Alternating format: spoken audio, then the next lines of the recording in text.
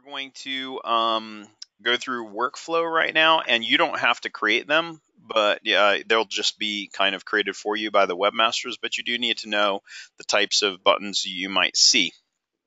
So nothing really for you to do here.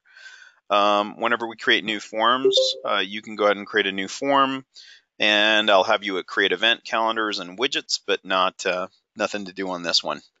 I am going to uh, show you just kind of where webmasters set things up for you. Let me actually go to view and actual size here. That's a little better.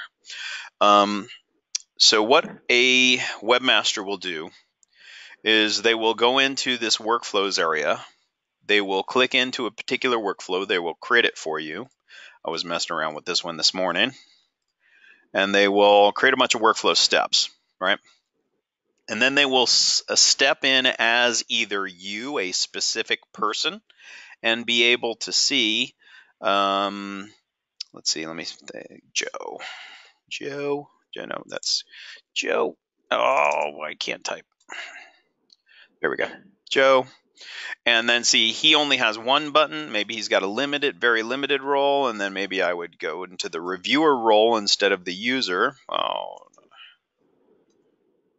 uh, reviewer role, and then they can do, they see these five buttons, two at the editing level, two at the review level, one at the legal approval level.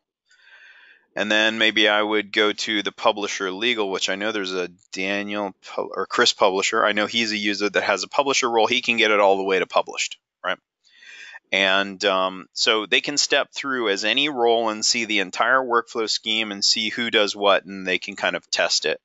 Um, and if they want to, you know, add another step, if they want to drag and drop steps, they can, you know, uh, just grab a, oh, let me reload my page. Uh, so they could drag, grab one of these steps and drag it into another step and, and reuse it and all sorts of really cool stuff for them here. Okay, so um, I'm going to remove that. Hopefully I haven't damaged my workflow and I'm going to step in as a limited user. Uh, so do I have the login as role? Let me just make sure that I, as user and admin user, I have the right roles here. I've got the login as like the scripting user, CMS administrator. I should be able to log in as Joe.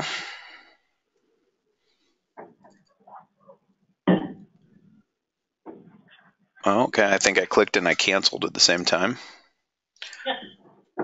Uh, Joe.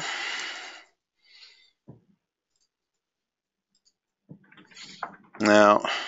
Okay. Well, I will just log out and I will log back in as Joe. Let's see. Oh, you know what? I don't remember Joe's password or Joe's email. There we go. All right. Perfect. Uh, he's only a contributor, so I wouldn't. just kidding. okay, so documents um, here is on this content type. This is the type of content he can manage, and um, then we click add new content. He can still import content, and whenever he comes here to add new content, he only sees one button, right? Exactly as we intended it. So he can upload and start a document. We'll go ahead and start up uh, uh, Geostorm and we'll upload it and some bad movie. and uh, da, da, da, save as draft oh, he doesn't have permissions to save to the that host or folder. He's a lim- very limited user. He can save to the resources directory. And that's where that those permissions take over, right? Now, once he saves it, in the next step, he does have a send for review, but he really can't kind of uh, do much of anything except assign it to somebody else and say, you know, please, please review and publish for me. Now, there is a setting where we can allow you to assign to somebody who has the reviewer role, but that's not what's set up for him. What's set up is, uh, you know, he doesn't have that option and he just has to assign it to the role. And then everyone who has that role would get an email that Joe assign something to the reviewer role. All right, uh, so now I'm going to log in. I think I saved it and sent it to the reviewer. Maybe I didn't. So I'm going to put Jane.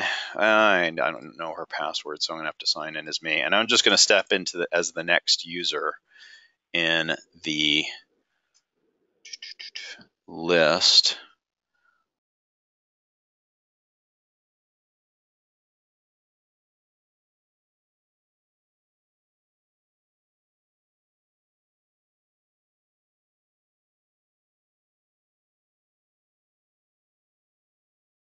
Uh, let me first reset Jane's password.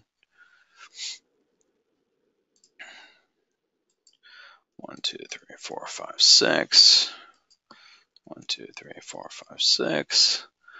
And it's just jane at dotCMS.com and then Chris to get through everything. Chris Publisher. One, two, three, four, five, six. One, two, three, six. Save. Okay. Let me try that login as one more time. This this should be working, but either something I don't have set right up right on the permissions. Okay, eh, it worked just fine. Okay, maybe his password wasn't originally set up or something. Okay, so I just logged in as Jane. Now, by default, we right now have the default going to this new feature that we added because we wanted everybody to look at it. But typically, the default page whenever somebody logs in is set up to here. Now, apparently I did not uh, sign that to Jane yet. No, I did not. So let me log out as her. Let me see if now I can log in as log in as Joe.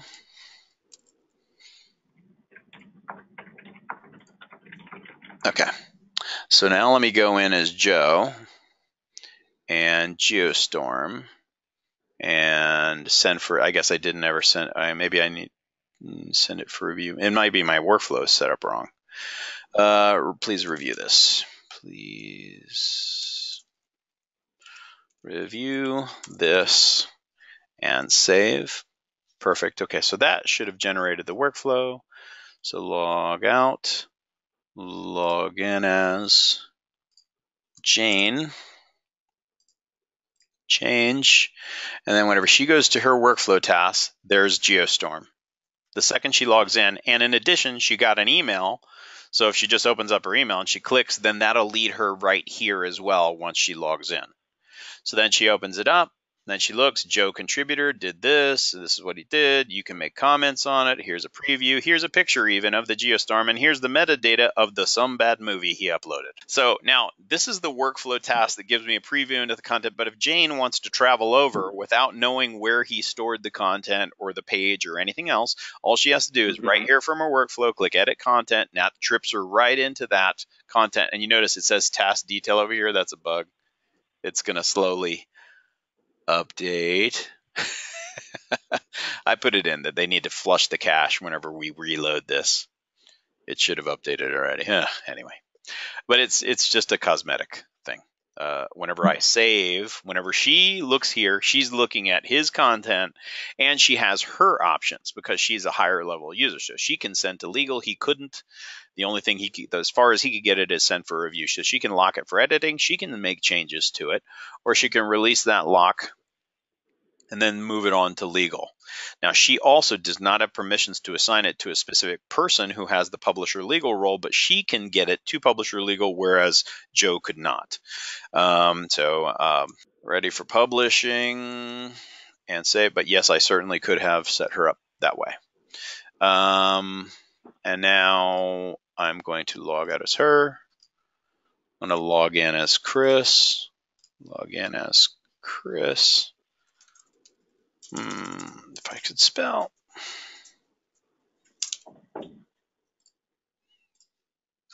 Okay, so I log in as Chris. He goes his task. He sees Geostorm and a whole heck of a lot of other stuff that people have assigned to him. He clicks here. He says, okay, he can immediately do things. He can immediately publish it or do just what you asked for, return it back for edits. This thing stinks. He can assign it to other, you know, to people if he wants to um, and make comments to it, right? Um, or he can publish it. So I just published it from my uh, workflow. Oh, it looks like it's still locked by Jane. Oops, that workflow was set up bad. The workflow step needed an unlock once she sends it for review. So I'll have to log out. I should modify that workflow. It was just whoever set it up for the demo didn't set up the workflow with an unlock. Um, that little send for review. Where in heck is send for review? Uh, send for review should have had an unlock content there. Maybe I stepped back into it after I went ahead and clicked that. Uh, or send to legal. Hmm. It does have it there. So no, maybe I looked at it after I went ahead and sent it on to legal. I'm not sure, but um, so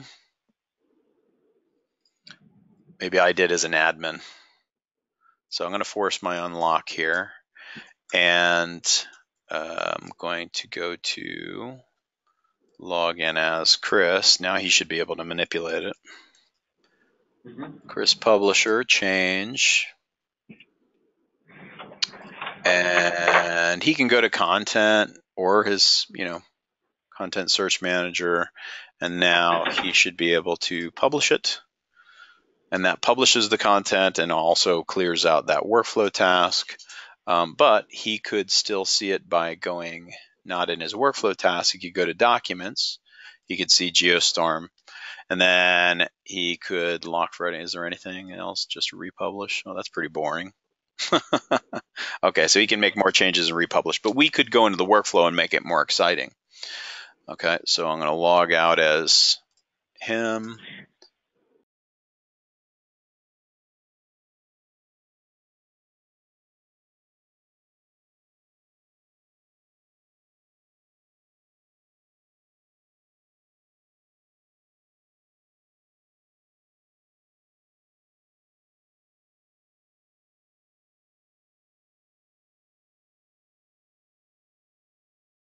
You can do all sorts of powerful things like push to production server you know and then there's two different types of push that you might see. It's they, they can set it up to push now and they pre-configure which environment it automatically goes to. They can give you a push publish that whenever you click on it then it gives you the option to choose which environment you're trying to push publish to. We can send emails automatically using a send emails action. There's a four eyes approval. There's mul- require multiple approvers specifically by name or role um, set a velocity variable value on the content. You can even Google translate content into whatever languages you have configured with one click on one button.